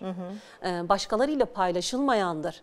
Diğer insanların e, şeyine erişimine kapalı olan alan anlamına gelmektedir Evimiz mahrem alan. öyle, dört Tabii ki. var değil mi? Ama Neden e, mahrem? sosyal medyada öyle şeylerle karşılaşıyoruz Evet, bütün ki. kapılarını Geçen ben yine maalesef. bir e, söylemiştim galiba. Şöyle bir furya varmış e, e, Instagram'da. E, işte Instagram'ın fenomen gelinleri. Bu yeni gelinler e, evlerinin her alanını e, insanların e, şeyine paylaşıyorlar. Erişimine açıyorlar. Mutfağında ne var? İşte o, oturma odasında hangi eşyalar var?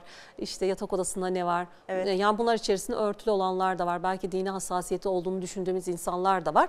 Maalesef böyle bir e, gerçekle de karşı karşıyayız. Dolayısıyla burada e, bu mahremiyetin büyük bir tehlike evet tabii ki aslında. örselenmesi Ama ve- farkında değiliz. Bence bu daha büyük bir tehlike. Tehlike. Yani açmamız, göstermemiz, e, aile mahremiyetini kaybediyoruz ama bunun farkında bile değiliz belki de. Evet bunu aslında insanları sormuşlar. Abdullah Kahraman hocamız da söylüyor.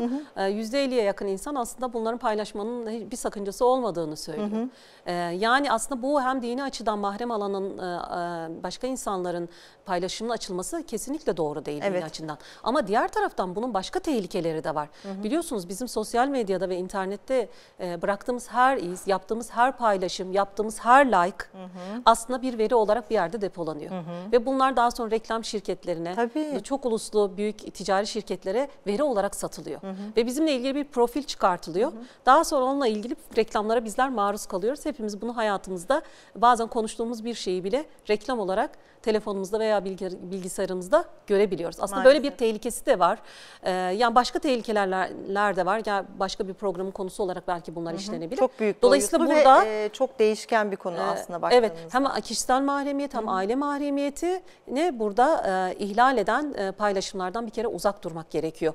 Şimdi e, bazen diyorlar ki işte hani tesettürlü falan paylaşayım ama e, sonrasında belki de o dedik ya hani bir adım attığımız zaman şüpheli bir şeye Evet. onun sonra arkası geliyor ve Peygamber Efendimiz de öyle söylüyor. Hani biz e, şüpheliden eğer e, kendimizi şüpheli olan şeylerden kendimizi geri çektiğimiz zaman dinimizi korumuş oluyoruz Evet. haysiyetimizi ve namusumuzu korumuş oluyoruz diyor.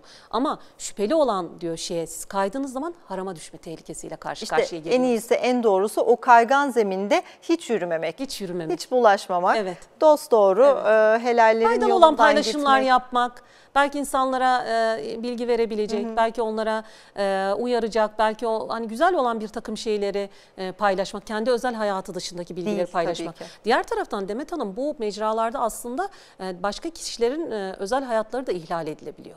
E, başka insanlara ait bilgi, belge ve fotoğrafların paylaşılması da e, onların özel elbette, hayatını ihlalidir. e, hem gizlilik hakları ihlal ediliyor hem de belki e, farkında olmadan kul hakkını bazen Tabii ki, onlarla ilgili kul hakkı. konuşulduğu zaman e, direkt olarak kul hakkına girilmiş oluyor. Bu da çok önemli bir Tabii. tehlike. Bir de şu var bazen hani e, zam ve şeye giren, yalana giren haberler de çıkıyor. Şöyle bir araştırma da yapılmış. E, sosyal medyada e, yalan olan haberlerin doğru olanlara göre yayılma hızı 6 kat daha fazla. Yani bazen biz araştırmadan, e, doğruluğundan emin olmadan paylaşabiliyoruz. Görüyorum yani bazen bizim gruplarımıza da geliyor. Yani ben sosyal medyayı kullanmıyorum ama WhatsApp gruplarında bakıyoruz gerçekten e, doğruluğu tartışmalı ve hatta tamamen yalan olan bir takım e, Ama size kadar bilgiler içeren- ulaşabiliyor. Evet geliyor ve biz daha sonra tabii ki o hani öyle olmadığına dair bilgilendiriyoruz ama e, sonuçta benim dışında belki de daha fazla bir sürü gruba gibi o mesajlar haberlerin. gitmiş oldu değil mi? Maalesef, hı hı. Dolayısıyla biz burada yanlış bir bilginin belki de iftira olan bilginin belki yalan olan bir e, bilginin yayılmasına da aracılık etmiş oluyor. Bir de ilk Bu defa da bir vebaldir. zaman inanma olasılığınız da yükseliyor aslında.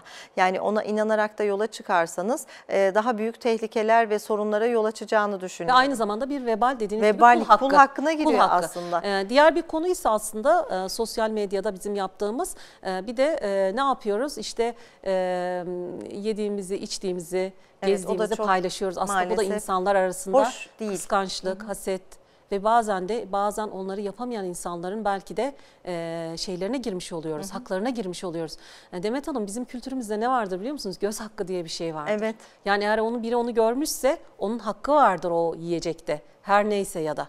Ona bir e, şey verilir. Hatta ne yapılır? İşte kokuya kokusu komşuya gitti diye pişirilen Bir yemekten görülür. Çünkü o da bir haktır. evet, maalesef. Ee, öyle bir şey var ama olmadı. şimdi insanlar maalesef bu hassasiyetlerini kaybettiler. İşte diyorum ya aslında biraz gevşedikçe, laçkalaştıkça aslında çok daha kötü bir yere gidiyoruz. Ee, Dolayısıyla burada e, yemek fotoğraflarının işte bazen e, ne yapıyor? İşte eşler birbirinden aldığı hediyelerin eşinin aldığı hediyeyi paylaşıyor. E, o zaman eş gidiyor hani o aldı neden bana almadın? Bu da evde bir Hasetlik, takım evet, tartışmalara neden Tabii, olan e, belki tabii. evlilik sorunlarına neden Sebep olabiliyor. olabiliyorlar ama farkında bile değiller. Umarım bunun da Umarım farkına varabilecek, idrake e, sahip olan bir toplum oluruz diye Evet, düşünüyorum. evet. E, az önce bahsetmiştik ama e, çok fazla detaylandıramadık. Helal ve haram dediğimiz zaman e, en çok da gıdalar aklımıza geliyor Evet. diye. Helal gıdalar, haram gıdalar. Aslında e, baktığınız zaman bunun iki boyutu var. Biraz önce biraz siz de bahsettiniz ama hani e, helal gıdaların bereketinden, helal kazancın e, bereketinin daha çok arttığını söylediniz. Hem de bir diğer taraftan da e, helal e, zannettiğimiz ama aslında dinimize uygun olmayan, helal olmayan e, Gıdalar var. gıdalar da var. Bu her iki boyuta baktığımız zaman neler söylersiniz Lamia Hocam? Nasıl uyarılarda bulunursunuz?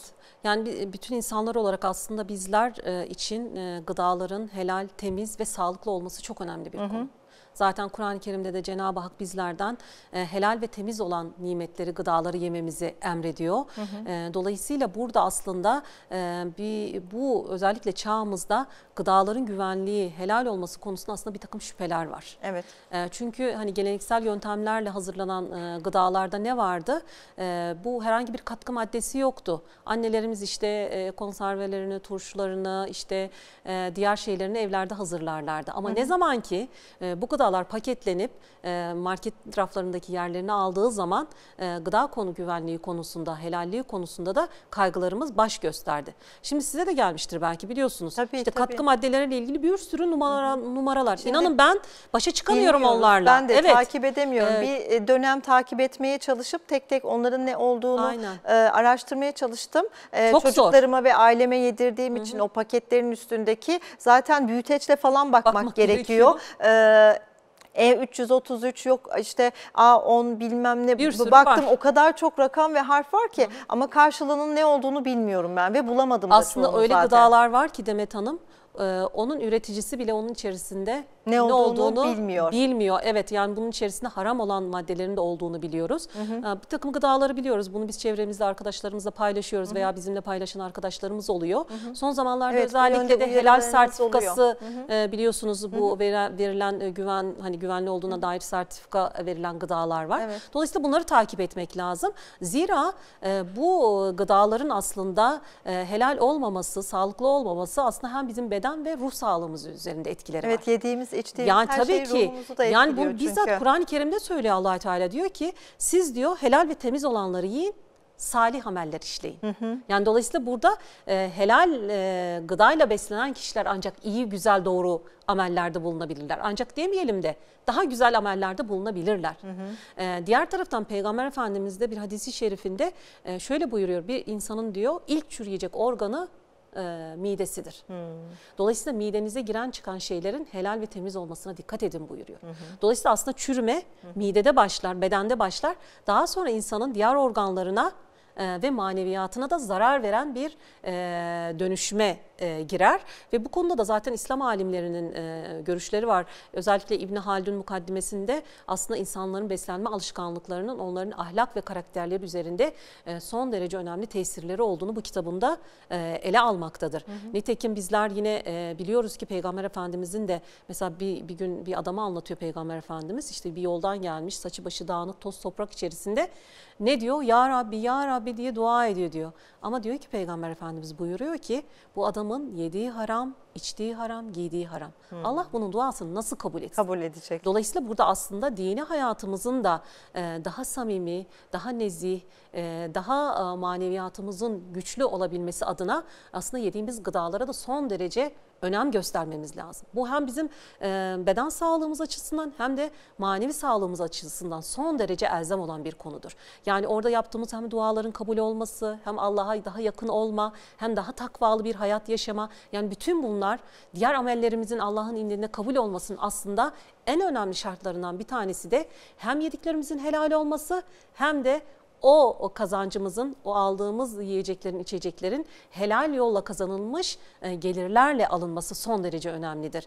E, yine biz biliyoruz ki gerçekten bu böyle olmadığı zaman e, insanın helaketine de hem maddi hem de manevi, manevi anlamda helakine sebep olmaktadır. Şimdi Demet Hanım biliyorsunuz son zamanlarda hani bir takım hastalıklar çoğaldı. Maalesef. Yani bunun da tabii ki Giderek gıdalardan, tabii obezitenin, kanserin, şeker hastalığının daha sayamayacağım pek çok arz hastalığın aslında temelinde ne vardır? Ee, bu e, şey olan helal ol, olmayan, e, haram olan e, gıdaların ve e, helal yoldan kazanılmayan e, Kazançların, kazançların e, evet, aslında bizim hem maddi gıdalar. hem manevi sağlığımızı tehdit ettiğini e, söyleyebiliriz. Maalesef. Ee, peki hocam helal ve haramlarla ilgili bilgimiz var. Ee, net e, çizgiler de var bunları biliyoruz ama irade olarak kullanamıyoruz. Yani yanlışla doğruyu bildiğimiz gibi irade olarak da kullanamıyoruz. Peki dinen bilmekle uygulamak arasındaki farklar nedir sizce? Evet. Yani aslında şöyle bir şey biraz önce konuşmanın başında da şunu söyledim. Ee, aslında hayat çok hızlı bir şekilde akıyor. Pek çok şeyi biliyoruz ama unutabiliyoruz. Yani o yüzden hani e, dedik ya o sırat-el mustakim üzerinde durabilmek inan çok zor. Çünkü dedik hem bizden kaynaklanan bir takım çeldiriciler var. Hem Hem, çevre de etkenleri çevremizden var. var. Hı hı. etkenler var. Dolayısıyla bu kadar çok e, uyaranın olduğu bir ortamda e, o yolu dost doğru yürüyebilmek için de çok uyanık olmak gerekiyor. Evet, haramdan tamamen arınıp, e, helalle ya da e, yaşarken için aslında mi? hani ben şunu hep e, söylerim. Hazreti Ömer'in çok güzel bir uygulaması var. Aslında hepimizin belki yapmamız gereken. O her gece başını yastığa koymadan önce acaba bugün ben ne yaptım? Allah için ne yaptım? Bir vicdan muhasebesi muhasebe yapar. o günü Aslında evet kaçırıyoruz gerekiyor. çünkü o kadar hızlı yaşıyoruz ki e, bazen aslında herkesin yaptığı şeyler sanki doğruymuş gibi biz de yapabiliyoruz. O şeye kapılabiliyoruz. Dolayısıyla aslında burada herkesin bir durup düşünmesi lazım. Gerçekten acaba benim hayatımda e, yaptığım şeyler gerçekten rızayı bariye uygun mu? E, yaptığım işten olsun, yaptığım amellere, insanlarla olan ilişkilerim, annem babamla olan ilişkilerim, arkadaşlarımla olan ilişkilerim, Rabbimle olan ilişkilerim ne seviyede? Aslında bu muhasebeyi her an yapmalıyız. Biz bu e, hani Hazreti Ömer bunu her gece yaparmış.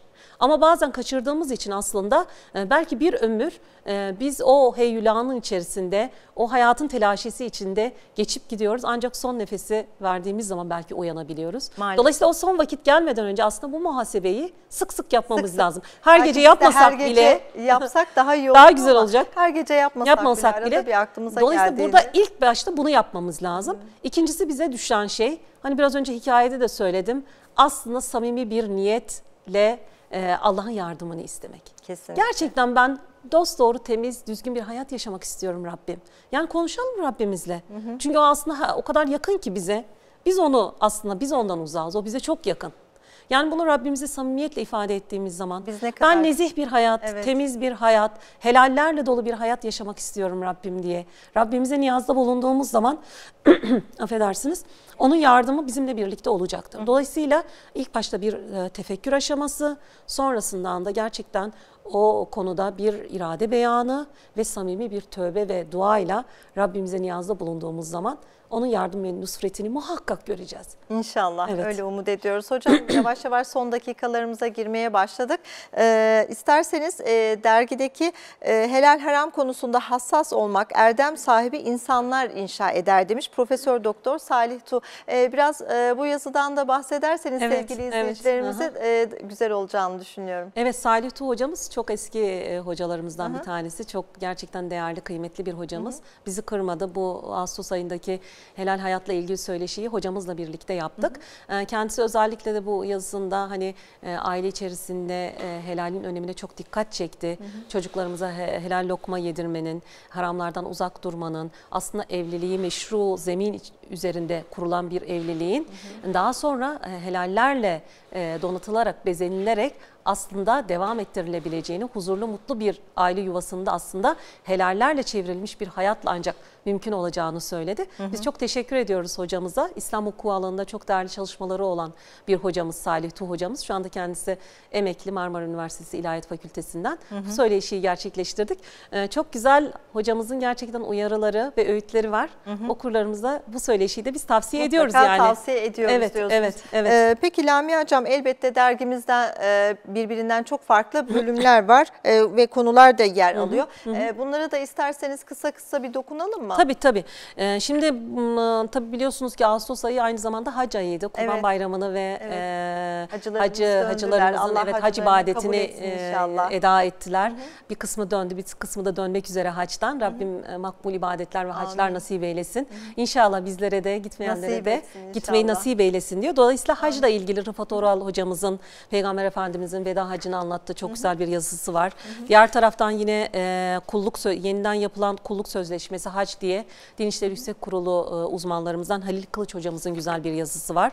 E, diğer taraftan yine e, bu kurbanla ilgili biliyorsunuz aynı zamanda e, kurbanlarımızı kes- kestik. Rabbim kabul buyursun. E, kurbanla yakınlaşmak, Yakınlaşmak. diye Hı hı. evet e, Doktor Doktor, Mehmet Mehmet, Ali Aytekin hocamızın Diyanet İşleri uzmanı e, yine kurbanla ilgili bir yazısı var. E, bir Diyanet İşleri şey e, Diyanet Arşivi diye bir köşemiz var. Bu bizim e, şey köşelerimizden geçen seneden beri devam eden köşelerimizden biri. Bu Diyanet tarihiyle ilgili arşiv raflarında kalmış olan Diyanet tarihimizi gün yüzüne çıkaran bir köşe. Özellikle de ben e, tabii Diyanet mensuplarına, Diyanetle ilgili Diyanet tarihini mens- e, takip edenler için tavsiye edeceğim bir e, köşe. Mehmet Bulut hocamız yazıyor bunu. Bu hutbeleri, tarih seyri içer- içerisinde hutbeleri ele aldı. E, hutbe Hepsi kitaplarını- arşivlenmiş mi hocam? ee, yani e, şöyle bir şey, içinde. e, bu tabii ki hani ilk çıkan a, e, hutbe kitapları var ama e, bunların hani daha çok muhtevasını, üslubunu, içeriğinde neler aldığı, yer aldığı konusunda bir seri halinde önümüzdeki ayda da bu hutbelerle ilgili e, Evet, yazı burada- devam edecek Eylül ayında da. Sevgili Mehmet izleyicilerimize Bulut. de duyuralım Hı hı. o zaman. Özellikle bunu. Biliyorsunuz Demet Hanım bizim e, yani e, aylık dergimizde e, e, özellikle tefsir, hadisle ilgili iki tane köşemiz var. Evet. Vahyin aydınlığında ve hadislerin ışığında diye. Hadislerin Burada da ışığında. yine Hı hı. bir ayet ve hadisin yorumları yer alıyor. E, ayet köşesini Din İşleri Yüksek Kurulu uzmanımız e, Abdülkadir e, Erkut Barış Dini İslam diye e, Burada bir ayetin tefsirini yaptı. Evet. Yine sevginin peşinde bir ömür e, köşesinde yine bir hadis e, yorumu var.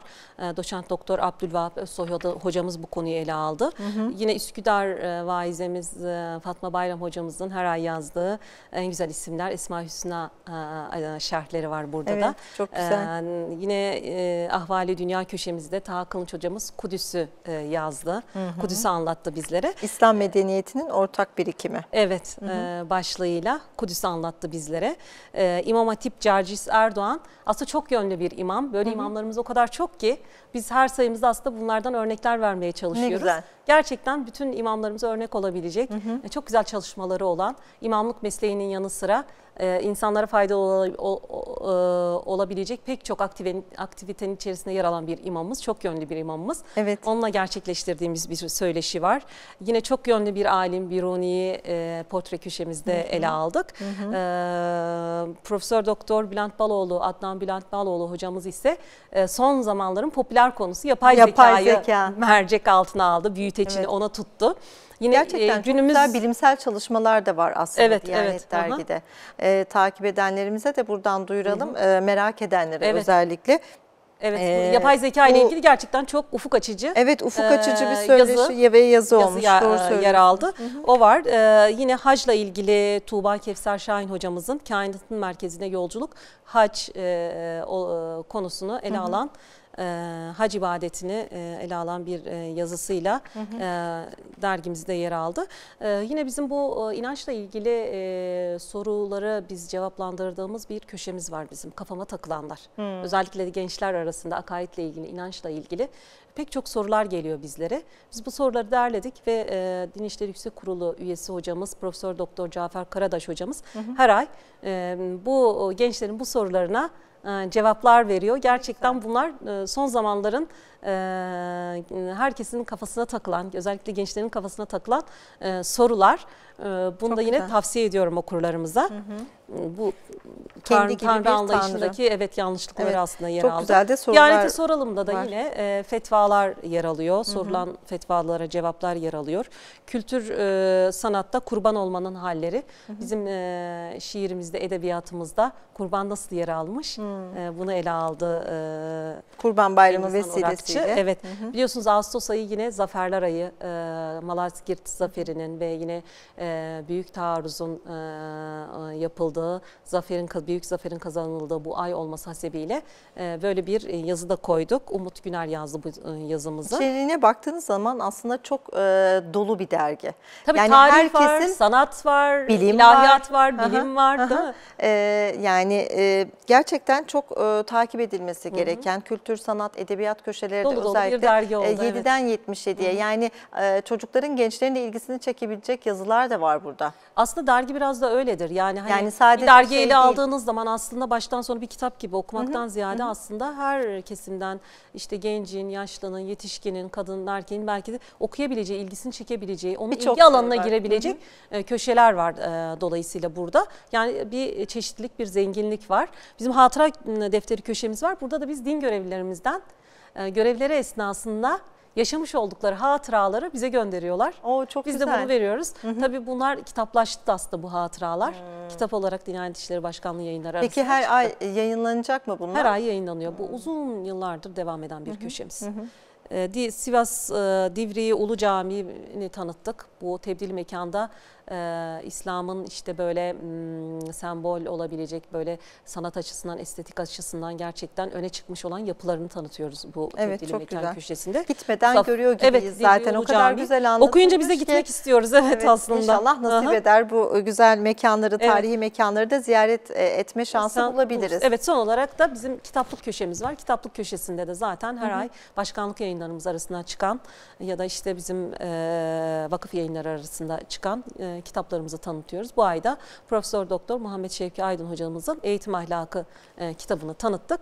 Böylece dolu dolu bir e, dergiyle Ağustos ayını bitirmek üzereyiz. Şu anda Peki, Eylül'ün hazırlıklarını evet, yapıyoruz. Eylül hazırlıklarına geçmeden önce peki Lamia Hocam bu 7'den 77'ye hitap eden doğru ve sahih dini bilgilerin, kültür sanat haberlerinin, bilim haberlerinin yer aldığı bu dergiye sevgili izleyicilerimiz nasıl kolaylıkla ulaşacaklar Evet. isterseniz onları Evet. da bir Aslında hatırlatalım. Diyanet.gov.tr adresinden e, diyanet.gov.tr adresinden e, bütün yayınlarımıza ulaşabilirler.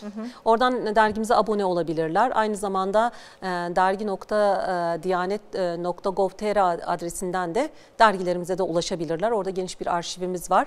Belki son sayıyı görmeyebilirler ama önceki sayıları görebilirler. Çünkü biraz geç koyuyoruz bu sayıyı. E, ama diğer taraftan e, bu Diyanet.gov.tr adresine girerek dergimize çok cüzi, gerçekten o kadar cüzi e, ücretler var ki bunlar hani maliyetine halkımızın gerçekten bu bilgiye ulaşması adına çok cüzi ücretlerle hem kitaplarımız hem dergilerimiz satılıyor. Aile dergimiz var, çocuk dergimiz var, ilmi dergimiz var. Evet. Hakeza onlar da çok, Çok ciddi kapsamlı. e, e, cüzi ücretlerle ulaşabiliyorlar. Oradan e, İstersek çok kısa bir süre de içerisinde abone evet, abone olarak da veya satın alma yoluyla da e, çok e, zaten biliyorsunuz artık hani internet üzerinden alışveriş çok kolay. Çok E, rahat, Dergimizde de çok rahat bir şekilde e, Diyanet sitesine girerek oradan bütün yayınlarımızı e, edinebilirler. Hmm. Ee, bir soru gelmiş Cemre Hanım'dan Instagram sorusu hocam. Evet. Kapıda ödeme imkanımız var mı demiş. E, aslında çok bilgim yok. E, zannedersem yok diye biliyorum. Ama olsun yine de. Ama yine de e, cevap yazalım biz kendisine. Evet bence E, eğer şey adresini yapalım. bana yönlendirirseniz cevap yazarız Tamam inşallah. yazarım hocam. Ee, artık son dakikaya girdik. İsterseniz Eylül ayı e, içinde bize bir Kaç iki bir şey, tane evet. e, şifre verirseniz çok seviniriz sevgili Ee, okuyucularımıza. Evet aslında biz hani bu süreli yayınlar olduğu için şu anda Eylül ve Ekim ayının hazırlıklarını yapıyoruz. Çok önceden Tabii takip şu anda ediyorsunuz, değil Eylül zaten baskıya girecek inşallah bugün. Ee, ama diğer taraftan hummalı bir şekilde Ekim ve Kasım aylarının da Ekim ayının yazıları toparlandı. Kasım ayının siparişleri verildi. Ee, dolayısıyla böyle bir çalışma var. Ee, Eylül ayında da gene çok güzel bir konuyla okurlarımızın karşısındayız. İlim dini İslam dedik e, bu e, sayımızda. İslam'ın ilme verdiği e, önem, geçmişten bugüne Peygamber sallallahu aleyhi ve sellem Efendimizin dönemine bugüne e, bu ilmi gelenek neye dayanıyor, neye yaslanıyor, nasıl bir e, ilmi geleneğe sahibiz, E, bu ilmi gelenek nasıl oluştu, bu geleneğin köşe taşları nelerdir, Kur'an ve sünnet, e, e, tün, e, sünnetin e, ilme verdiği değer, önem gibi konuları e, ve yine de e, bu ilmi gelenek içerisinde öne çıkmış alimlerimizin de tanıtıldığı dolu dolu bir Eylül sayısıyla inşallah okurlarımızla buluşacağız Eylül Evet ayında. hocam inşallah biz de e, dört gözle bekliyoruz okumayı heyecanlı bir şekilde. E, son dakikamıza girdik. Helal ve haram kavramlarını konuştuk. Son mesajlarınızı alalım ondan sonra da Evet. programımızı kapatalım Ee, inşallah. Çok güzel bir gündeyiz, çok güzel bir cuma günündeyiz. Rabbim inşallah bu güzel e, gün hürmetine bütün dualarımızı kabul eylesin. Amin. Onun rızası doğrultusunda tertemiz ve dosdoğru bir hayat yaşamayı bizlere nasip eylesin. Haramlardan uzak, helallerle dolu, he- helallerle bezeli, e, dosdoğru ve tertemiz bir hayatı e, yaşamayı cümlemize, bütün Müslümanlara, bütün insanlığa nasip eylesin diyoruz ve Cuma'nın bereketi, feyzi hepimizin üzerine olsun. Rabbim daha nice cumalara sağlık, sıhhat ve huzur içerisinde ulaştırmayı nasip eylesin diyorum. Amin hocam çok teşekkür ediyorum. Geldiğiniz için ayaklarınıza sağlık. Ben teşekkür ediyorum. Rica ederiz. Evet e, sevgili izleyicilerimiz bir programımızın da böylelikle sonuna gelmiş olduk. Bir haftayı geride bıraktık. Önümüzdeki hafta yine farklı konu ve konuklarla karşınızda olacağız. Hayırlı cumalar diliyoruz. Allah'a emanet olun. Günün bereketi üzerinize olsun. Hoşçakalın efendim.